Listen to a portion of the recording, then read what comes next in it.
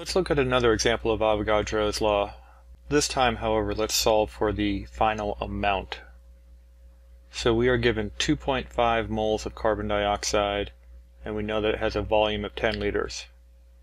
Under the same conditions, which would be the same pressure and same temperature, I want to know what mass of carbon dioxide will fill up a volume of 23.5 liters.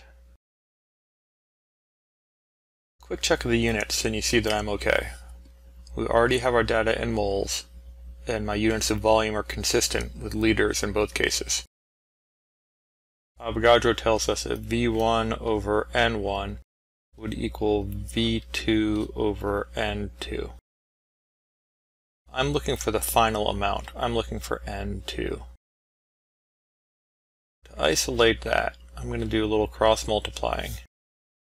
I'm going to say V1 N2 equals V2 N1. And then I can isolate the N2 by bringing my V1 down here. So N2 is going to equal V2 N1 all over V1.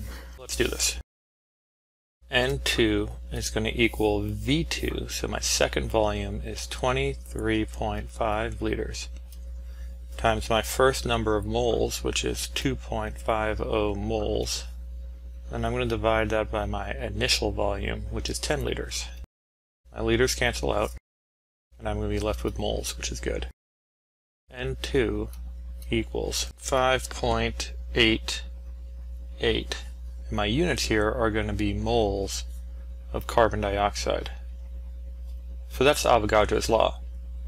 But if we take a closer look at the question, they didn't want moles of carbon dioxide, they want the mass of carbon dioxide.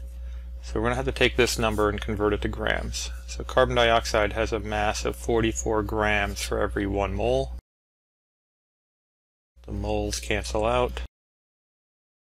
And I get 259 grams of CO2.